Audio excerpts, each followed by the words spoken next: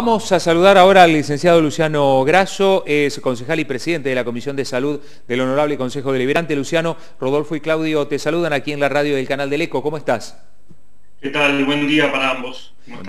Gracias por, por atendernos. Bueno, primero, Luciano, ¿cómo, ¿cómo, siguen ustedes, en este caso desde la Comisión de, Salud, la, gestión local de, la pandemia, lo que está ocurriendo? Bueno, ayer lamentablemente tuvimos el primer deceso de una persona con, con COVID. Contanos un poco como, como funcionario del Consejo, ¿cómo siguen ustedes? Y en particular, obviamente, desde la Comisión de Salud, ¿verdad? Bien, en primer lugar, nosotros ya lo habíamos comunicado en varias oportunidades desde la Comisión de Salud, mantenemos desde, el inicio de, la pandemia un, vínculo permanente, eh, incluso un encuentro semanal con las autoridades del Sistema Integrado de Salud Pública, y eso nos permite trabajar en conjunto y aportar desde el Consejo Deliberante en lo que se considere como oportuno para, en el marco de la estrategia global, del plan este, integral de, abordaje que está llevando el municipio en relación a la pandemia. En ese sentido, a mí me parece que es importante que, podamos hacer en este momento, eh, que es quizás el momento más complejo de la pandemia, un análisis que sea más amplio que el de los últimos días. Digo, sabemos que estamos frente a una situación que claramente es de una profunda crisis, desde lo sanitario, obviamente, pero también desde lo económico, desde lo social, desde lo político, y que esta crisis es inédita y que al ser una situación absolutamente compleja, digo, la, pandemia está sin lugar a dudas erosionando nuestras vidas, erosionando la, cotidianidad de nuestra sociedad y por sobre todas las cosas este, tenemos que verlo, digo, articulándolo con el tema que vamos a hablar, que es el de salud mental, tenemos que verlo como un evento traumático desde lo psicológico, desde lo social, desde lo económico, desde lo político, pero por sobre todas las cosas es un problema complejo. Entonces, a problemas complejos tenemos que intentar buscar soluciones complejas y en ese sentido me parece que Tandil, eh, reitero, si, nos preguntamos qué hizo Tandil para llegar este, o haber transitado gran parte de, de, la situación de la pandemia como la hemos transitado, digo, ahí donde digo tener una, ser realistas por un lado, pero también equilibrados en el diagnóstico y creo que es un problema que requirió soluciones complejas, pero por sobre todas las cosas que, requirió del esfuerzo y el compromiso de todos, digo, del, Estado o de una gestión que tiene que ser fuerte y articulada, pero también de la, comunidad. Digo, primer conclusión que, creo que compartimos aquí en, la Comisión de Salud es que quienes han tenido y siguen teniendo, o seguimos, todos somos este, vecinos, vecinas, ciudadanos, es este, quien ha tenido un rol fundamental es la, comunidad, la ciudadanía. Eh, Mascherano una vez dijo esto de, transformarse en héroes. Yo creo que la ciudadanía de Tandil, de alguna manera, con el compromiso social que ha tenido, con el cuidado, más allá, por supuesto, de algunas situaciones que no han correspondido y que a veces sigue pasando, ahora vemos también cierto relajamiento, pero más allá de eso creo que el compromiso respecto a las normas de cuidado, la higiene, el distanciamiento, eh, hacerle frente a, las dificultades económicas que ha generado la pandemia, eh, el sector privado con, aportando donaciones o este, con, con su compromiso, organizaciones no gubernamentales que han estado ahí en los barrios más vulnerables ayudando y acompañando a los que han sido más perjudicados. Digo, me parece que la ciudadanía, primer cuestión, eh, ha tenido un compromiso que ha sido fundamental para llegar a la situación en la que estamos hoy,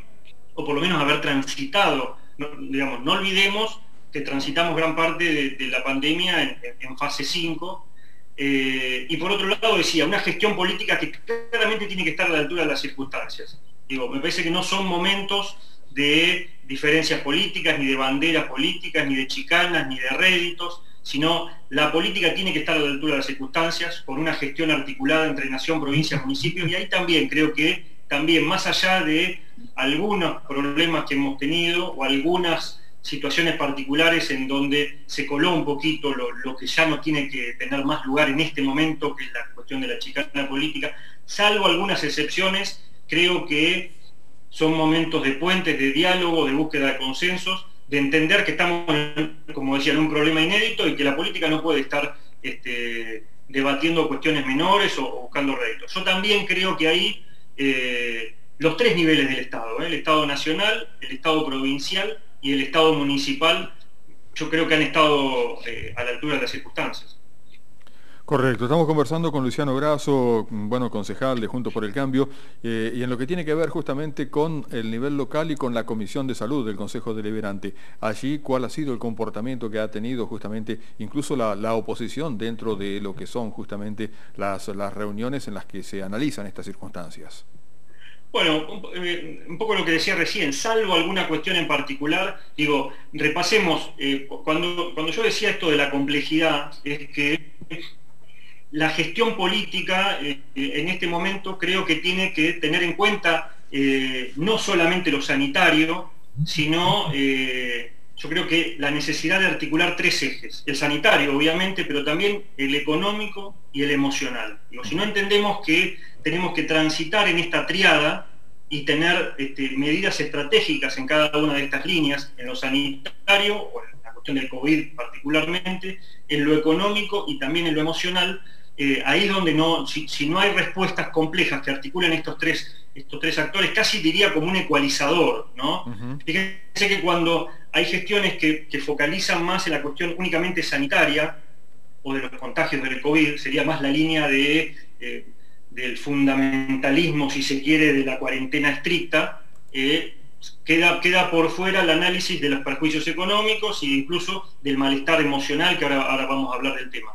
Eh, entonces, digo, en esa articulación el municipio ha trazado líneas estratégicas y yo creo que en términos generales el Consejo Deliberante y la oposición han acompañado. Digo, pensemos en las líneas estratégicas, eh, no, quisiera desarrollar eh, en relación a esto, pero mencionémoslas brevemente. Las medidas estratégicas en lo que tiene que ver con lo sanitario. se creó el comité científico, se creó una comisión de seguimiento que fue integrada por la oposición y por los distintos niveles del Estado que comprometen eh, y comprenden a otros, a, gobiernos de otro color político. Digo, con la universidad se, fijó una, una alianza estratégica, si se quiere, con la universidad, que claramente desde lo sanitario ha sido fundamental.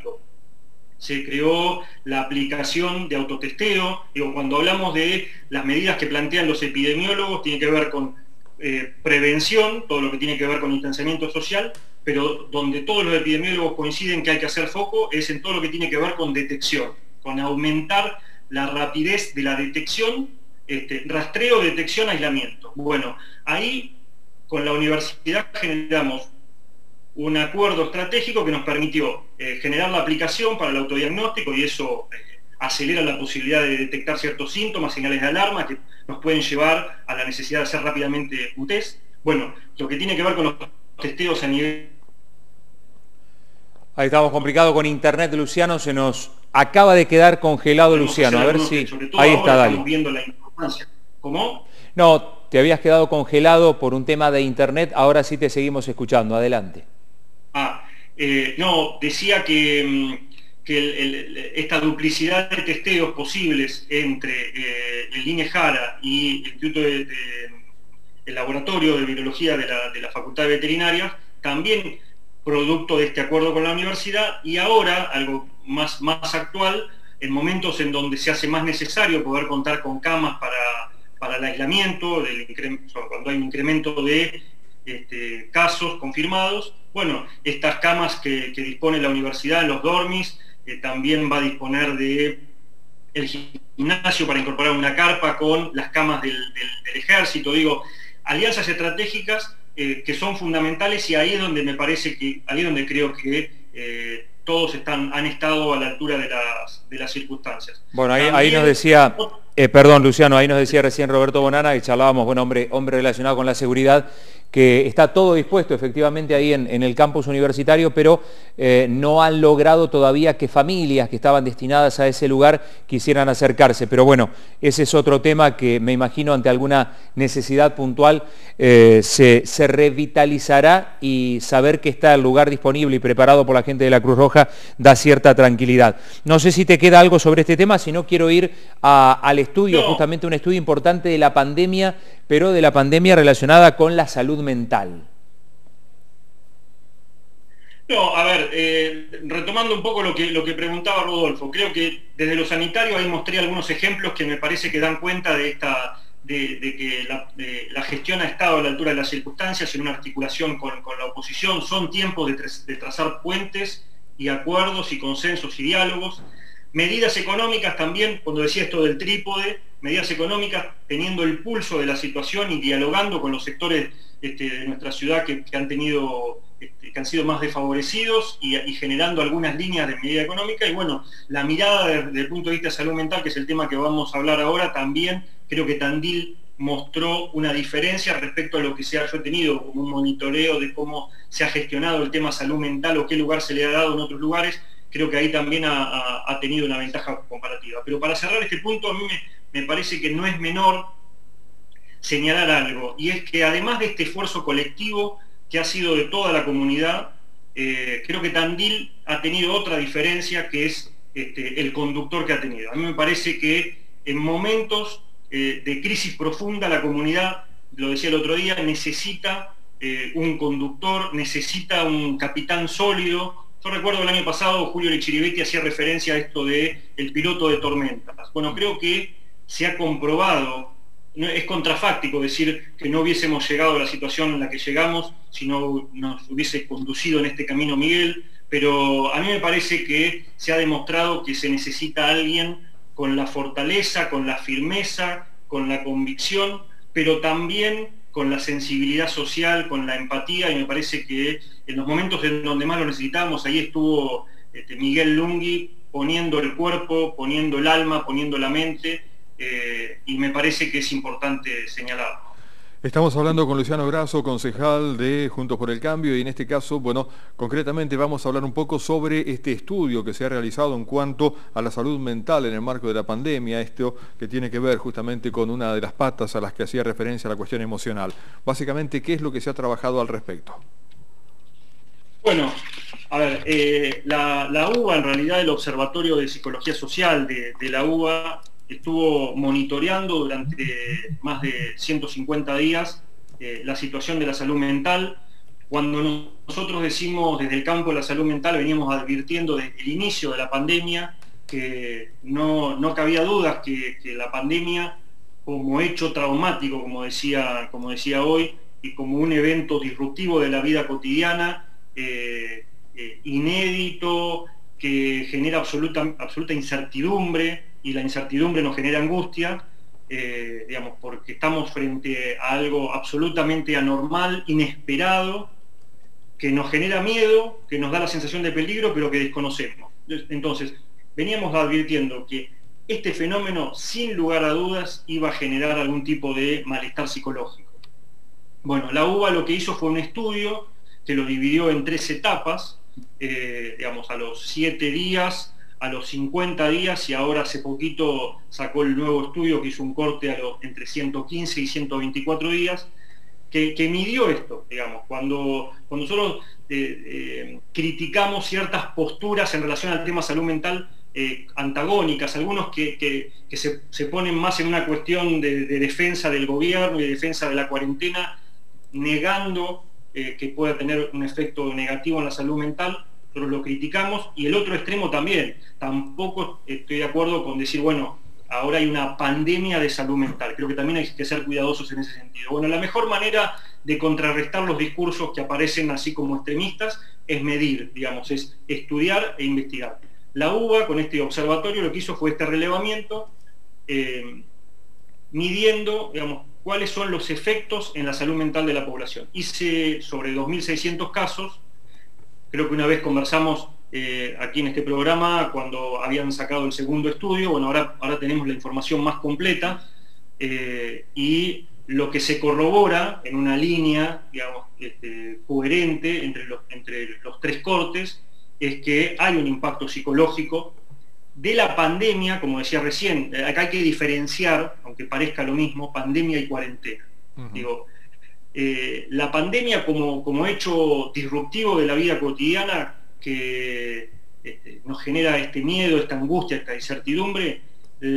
sin lugar a dudas genera malestar psicológico, eh, miedos, ansiedades, este, nerviosismo, dificultades para dormir, eh, cambios repentinos del humor, tristeza, angustia, eso por un lado. Ahora, por otro lado, la cuarentena como medida, también, ahí donde decía el otro, hace un rato lo, de, lo del trípode, digo, también la cuarentena va generando todo lo que tiene que ver con el aislamiento, todo lo que tiene que ver con eh, la pérdida de vínculos, la situación de pérdida laboral, eh, va generando eh, malestares psicológicos que el, estudio lo que comprobó es que eso redunda en síntomas, en sintomatología clínica, y por otro lado lo que es más preocupante es un incremento del riesgo de trastorno mental. Es decir, aquí este, si bien no quiero ser contradictorio, creo que hay que tener en cuenta que hay ciertas reacciones que son normales, que son esperables. Esto lo han dicho este, varios profesionales de la salud mental en, distintos programas de, del ECO, digo, me refiero a Jorge Garabuso, Santiago Pistone, Adolfo L'Oreal, que son profesionales que están más directamente vinculados con la clínica y que coincidimos en esto. No tenemos que ser alarmistas y decir que cualquier sensación de malestar se tiene que transformar en una patología que tenemos que ir corriendo a ver al psicólogo. Digo, en esta situación es normal, no sé si es la palabra adecuada, pero digo, para que se entienda, es esperable que tengamos sensaciones, pensamientos y actitudes que aparecen como raras. En estos momentos sentimos, pensamos y actuamos de manera distinta a lo que lo hacíamos habitualmente y eso genera malestar. Ahora, más allá de que tenemos que buscar nuestras propias estrategias, entender que esto es pasajero, eh, que tenemos que buscar algunos, este, algunas fórmulas con nosotros mismos y con nuestros vínculos para tratar de estar mejor, es cierto que el incremento de ese malestar no hay que taparlo eh, y hay que ponerlos en la superficie y hay que evidenciarlo porque en muchos casos este malestar se transformó en la necesidad de este, ver a un profesional de la salud porque sí estamos hablando en principio de riesgo de un trastorno mental. Y esto es lo que eh, corroboró el estudio. Cuanto más tiempo pasa la cuarentena estricta, mayor incremento de un padecimiento mental hay. Y esto también se corrobora con otros estudios que miden exactamente lo mismo. Hay una correlación entre duración de cuarentena estricta e incremento de padecimiento mental. Luciano, y cuando hablas, eh, perdón, cuando hablas de riesgos de, algún trastorno mental, alguna situación, digamos, eh, ¿de qué patologías estamos hablando? Bueno, las, eh, a ver, nosotros no podemos decir que la, pandemia inventa patologías, sino lo que hace es incrementar los factores de riesgo. ¿Qué significa un factor de riesgo? Algo que eh, incrementa la probabilidad de un trastorno mental o la duración de un trastorno mental o la, gravedad de un trastorno mental. Ahora, ¿cuáles son esos, los, los trastornos mentales o los padecimientos mentales prevalentes? Me estoy refiriendo a trastornos del estado de ánimo, depresión que puede conllevar a ideación suicida, estoy hablando de eh, em, digamos, trastornos de ansiedad, estamos hablando de consumos problemáticos, se ha visto un incremento de consumo de alcohol fuerte, eh, digamos, básicamente son esos problemas, las violencias, la eh, heteroagresividad o pérdida del control de, la conducta, son los problemas prevalentes que ya existían y que ahora lo que, lo que ha hecho la cuarentena es, como decía, cuando uno estudia cuáles son los factores de riesgo para un padecimiento mental, eh, podemos encontrar prácticamente todos en estos 150 días. Cuando vemos cuáles son los factores protectores, es decir, cuáles son las circunstancias psicosociales o, individuales que nos permiten eh, afrontar de la mejor manera posible un padecimiento mental y reducir la posibilidad de un padecimiento mental, vemos que todos esos factores de riesgo justamente a la inversa se vieron, se vieron disminuidos o hemos tenido menos posibilidades de utilizar esos factores protectores eh, en, esta, en, esta, cuarentena. Entonces, digo, eh, lo que hemos visto es, lo, que se midió es presencia de síntomas, o sea, cuando se hizo, en cada uno de esos cortes se, se midió la presencia de 27 síntomas en la última semana de cada uno de los entrevistados y a partir de esa medición entre presencia de síntoma y, qué nivel de presencia de sentida de ese síntoma, digo, mucho, poco, ¿no? para que tengan una idea, van haciendo escalas, y luego se mide este, este, esta fórmula del riesgo de un trastorno mental, de aparición de un trastorno mental. Quiere decir que eh, el 50% o más de esos síntomas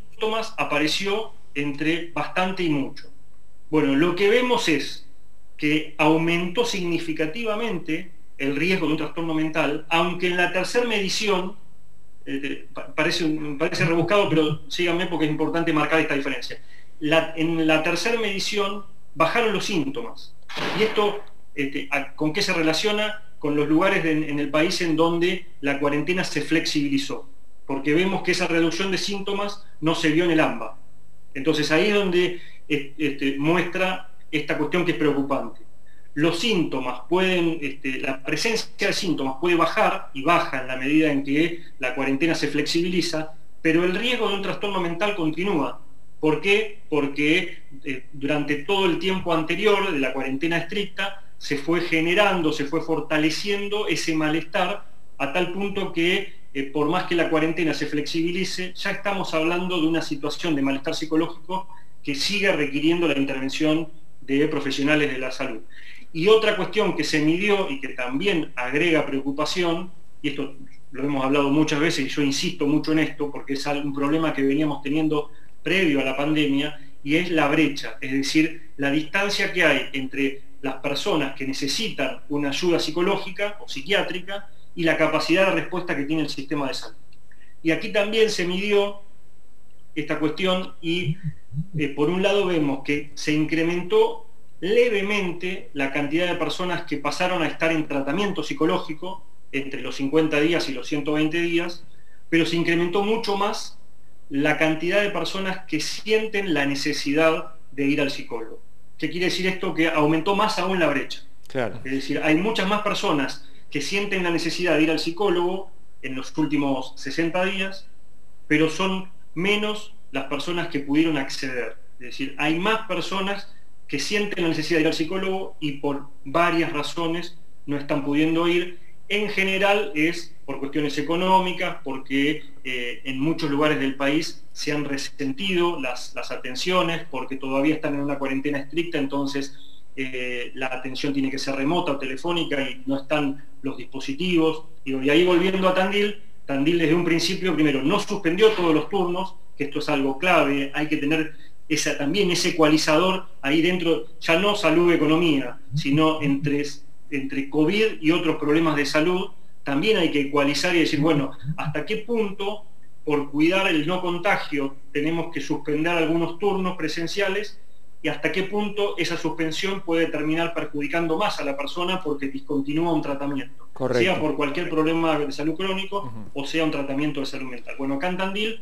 no se suspendieron todos los turnos, sino que se fue analizando caso a caso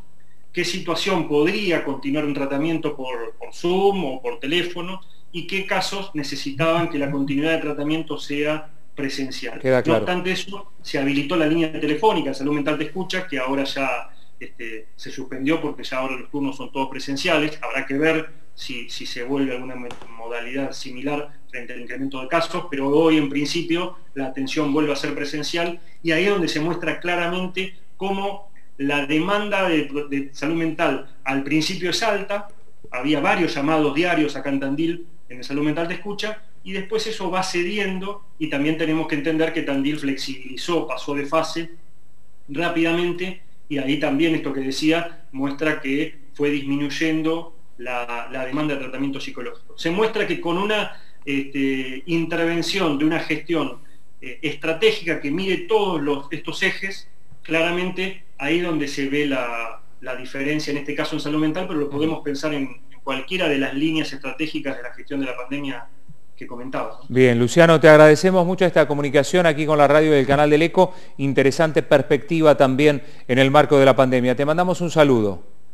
Bueno, un saludo para ustedes y muchas gracias. Muchas gracias muy amable. El concejal Luciano Grasso, el licenciado Luciano Grasso, presidente de la Comisión de Salud. Bueno, el, trabajo desde la UBA, la verdad, una cantidad de casos muy importantes relacionados con, la pandemia, síntomas, riesgos de, trastorno mental y cómo ha ido cambiando de acuerdo a, eh, bueno, cada lugar del país y las fases en las cuales se encontraba cada lugar del país. Una serie de datos realmente muy interesantes. 9 de la mañana, ya 13 minutos. ¿Qué le parece si vamos al cierre comercial de este espacio?